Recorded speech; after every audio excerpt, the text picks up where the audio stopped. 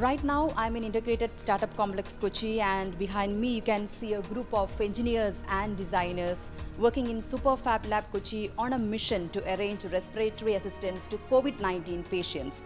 Uh, it's a prototype of Kerala's own respiratory assistance equipment uh, that has taken shape in Kerala Startup Mission with the help of experts from various sectors that includes doctors, entrepreneurs, and social workers.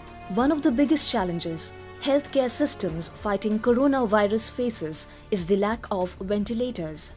With the virus began spreading all over the world, ventilators have become a necessity. Here, a prototype of alternative respiratory assistance equipment has been developed to support patients' life as manufacturing a full-fledged ventilator within a short span of time is impossible. എല്ലാവർക്കും അറിയാവുന്ന പോലെ covid nineteen അഥവാ corona virus ഒരു രോഗിക്ക് സ്വന്തമായിട്ടുള്ള രീതിയിൽ ശ്വാസം എടുക്കാൻ ബുദ്ധിമുട്ട് നേടി- നേടുകയും നേടുകയാണ് ചെയ്യുന്നത്. അപ്പോൾ നമുക്ക് ഒരു ആർട്ടിഫിഷ്യൽ അല്ലെങ്കിൽ മെക്കാനിക്കൽ വെന്റിലേഷൻ പൂർണമായിട്ടും നൽകേണ്ടി വരും. ശ്വാസ ഈ രോഗിയുടെ ശ്വാസകോശത്തിന് പൂർണമായ വിശ്രമം നൽകിയിട്ടുള്ള ഒരു ചികിത്സാ രീതിയാണ് ഈ നീർക്കെട്ട് കുറക്കുവാൻ വേണ്ടി അവലംബിക്കേണ്ടി വരുന്നത്.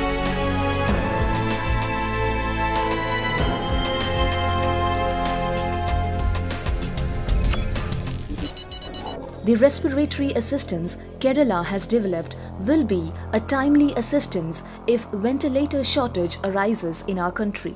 Since it is an open source, the model can be manufactured anywhere. What is significant is that compared to the high cost ventilators, this can be made available with just rupees 8000. This also opens an avenue for medical equipment manufacturers to produce it commercially. The current scenario demands around 70,000 ventilators urgently, and that makes Kerala's innovation significant. This innovation by Kerala will be a helping hand in medical teams' efforts to save the lives of COVID 19 patients.